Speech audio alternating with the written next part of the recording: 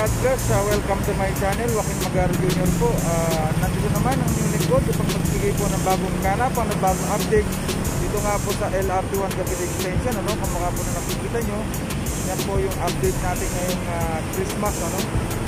Christmas update po tayo. So, nandito na po sa lumagpas na po sa City of Dreams ang ating uh, Gilder Launcher, ano. So, tuloy-tuloy na po yan. Papunta na po dun sa uh, LRT1 na dulo ng ano, uh, LRT1 Baclaran ano, saan doon po idudugtong ito ano.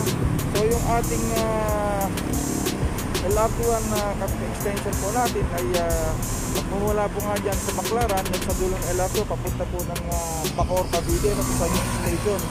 So mga kababayan, yan na po yung ating uh, uh, Christmas update po natin sa LRT1 Cavite extension ano po. So sana po patuloy niyo suportahan ng uh, channel Joaquin Magar Jr. at uh, nandito lamang po ako laging uh, nagbibigay po ng update bago kaganapan dito nga po sa LR2 Cavite Extension po. Ano po.